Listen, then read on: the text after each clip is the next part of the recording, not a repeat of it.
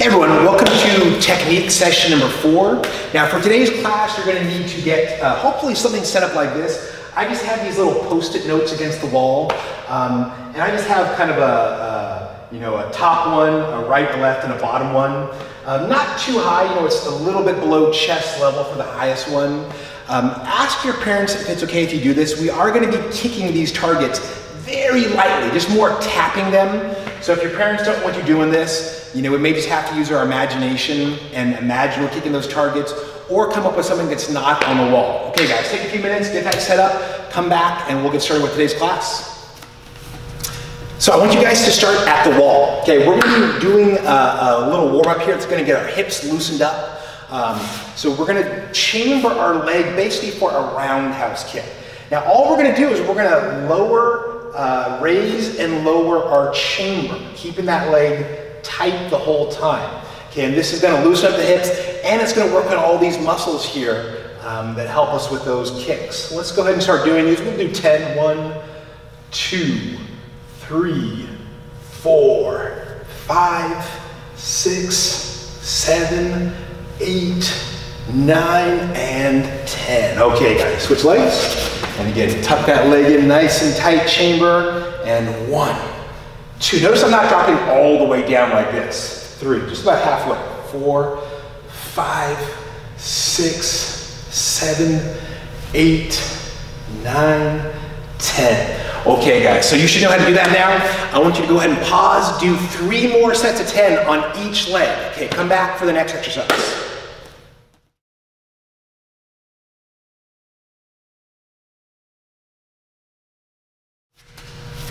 So we're gonna stay at the wall for a little bit more here. and Now we're gonna do what's called a side stretch kick, okay? So we're gonna make that leg straight, raise that leg up, and then bring it back down. We're actually gonna bring it all the way down, okay? So we're gonna raise that leg up sideways. Just like in class, when we do a normal front stretch kick, we're doing the same thing just for those muscles on the side here. So again, we wanna raise up and down. Let's do our first set together. Okay, so we're gonna do 10 on each leg. Ready, one, two. Now look how I'm trying to keep my eyes forward here. It's okay if you turn a little bit. You don't have to be totally forwards, but as long as you can see out of one of your eyes, you can see forwards, that's, that's what you want to do. Three, four, make sure you're breathing. Five, six, seven, eight, nine, ten. Good, and switch legs. Okay, ready? And one, two, three, four, five, six, seven, eight, nine, and 10. Okay guys, so you're gonna hit pause. Just do two more sets on each leg um, and then come back. We're gonna move on to our drill using the, uh, the, the paper on the wall. Okay, get going.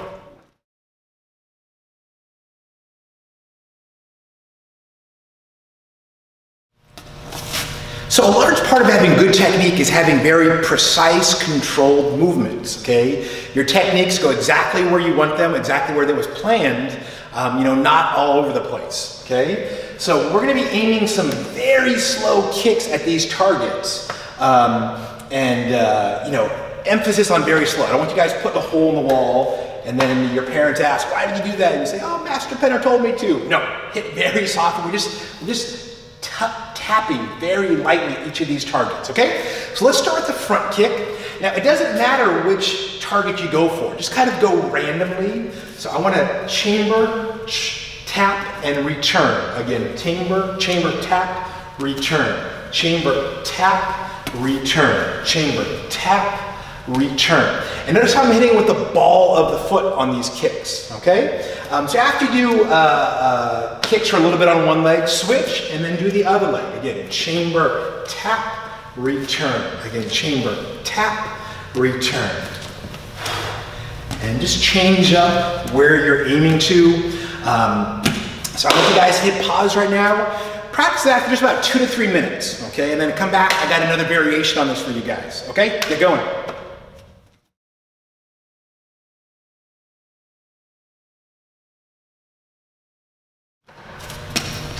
So now we have to do that same drill, but you're not allowed to put your leg down, okay? So chamber one of your legs you're gonna bring that leg up and you're basically gonna tap, return, tap, return.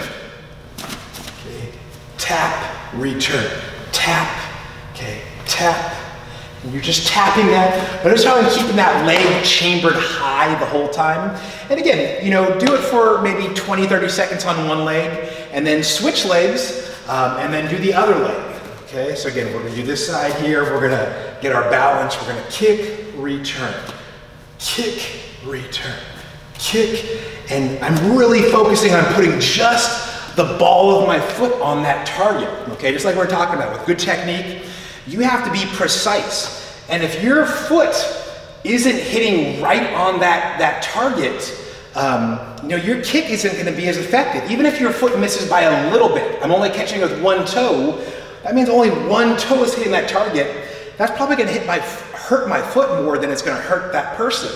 Okay, or my foot's going to slip off, which is going to put me in a, you know, a bad position if I was sparring that person. Okay, so again, work on being really precise. Only the ball the foot touches. You can see I'm basically covering up that paper with the ball of my foot. Okay, I'm not over here. Um, even though I touch the paper, you know, I only touch it with one toe. That's not good enough. Okay, guys. So um, keeping the knee chambered, practice another two to three minutes with, uh, with the keeping the leg chambered drill. Okay, get started.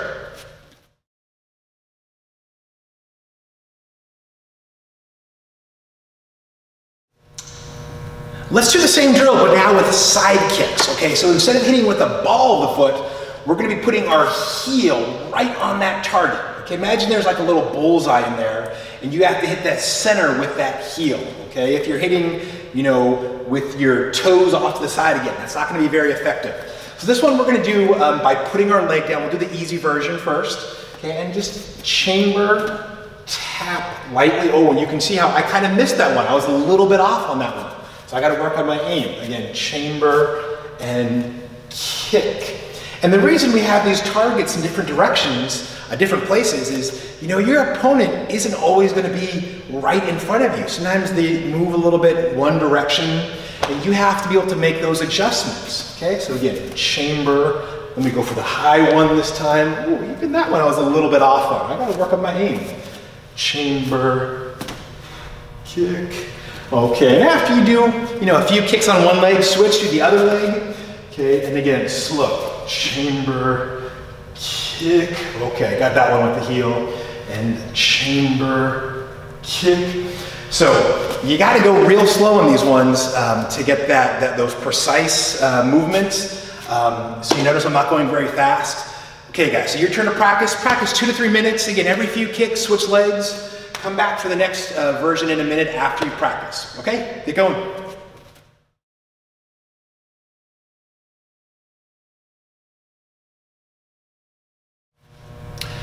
So I bet you guys can guess what we're gonna do next. Okay, we're doing side kicks, keeping our leg chambered, no putting it down. Okay, so we're gonna keep that leg chambered. Okay, what we're gonna do is we're gonna tap lightly and come back. And tap lightly and back. And again, I'm just barely tapping that wall. I'm not blasting the wall. Okay, no holes in the wall. Okay, especially if you have like thin walls. Okay, so again, after you do one leg for, for a little bit, switch legs, do the other leg. Okay, and again, chamber. We want to tap. Oh, I missed that one badly. Tap and down, tap and down. This is gonna make your kicks, uh, your, your, technique so much better. It's gonna really improve with your precision, your aim. Okay guys, so this is uh, uh, keeping our leg chambered, no putting it down, side kicks. Okay, hit pause, practice for two to three minutes. Okay, get going.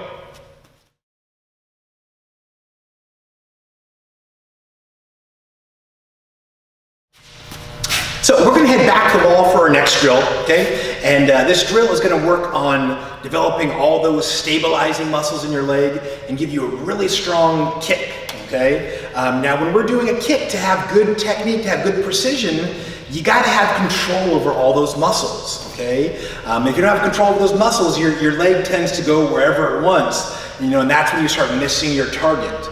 Hey, think about like a newborn kid. Have you ever seen a newborn newborn baby try to, when they're starting to try to go ahead and walk, You know, they don't have much control. They're kind of wobbly. That's because they don't have the muscle control. Okay, they can't put their foot. Um, they, they don't have good coordination. Um, and that's when you first begin martial arts. Um, that's where a lot of people are at in their martial arts terms. Is you know they're kind of like a like a, a newborn baby trying to walk. So we have to strengthen those legs, have control, so we're no longer that newborn baby. Okay. So the kick we're gonna do is called the hook round lift.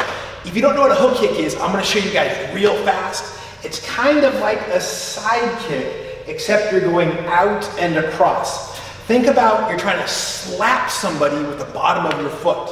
Okay, so again, I'm gonna chamber hook kick by coming across. Let me show you guys one more time. I realize some of my, my younger students may have never learned a hook kick, but I know you guys can figure this out pretty quickly. Okay, so I'm gonna chamber hook kick. Now once I've done the chamber, or the, the hook kick, okay, I'm in a perfect position for a roundhouse. So I'm gonna roundhouse and hold my leg. I'm gonna lower and lift. Then I'm gonna chamber. Hook kick, round hold, lift. Okay, look how I don't put my foot down. Chamber, hook, round and hold that leg. Lift. I know you guys are used to rechambering roundhouse kicks. We're actually not rechambering that round. Again, chamber, hook, round, hold, lift. Okay? So every time you do hook, round, lift, that count is one. Okay? So let me show you guys the other side here real quick. And again, when you start with that chamber, that leg is going to come out and across like you're slapping somebody with the bottom of your foot. So we're going to go hook, Look how that knee is forwards, round, hold, lift, rechamber. Again, hook, round, hold, lift. Okay, that counts as one. Again, chamber, hook, round, lift. Okay, guys, so what you're gonna do now is you're gonna go ahead and hit pause. You're gonna do three sets of 10 on each leg, okay? Uh, like I said, these, these are going to give you a lot of muscle stability, a lot of muscle control. It's going to help your technique. It's going to help your precision with all your kicks. Okay, hit pause, get going, three rounds of 10.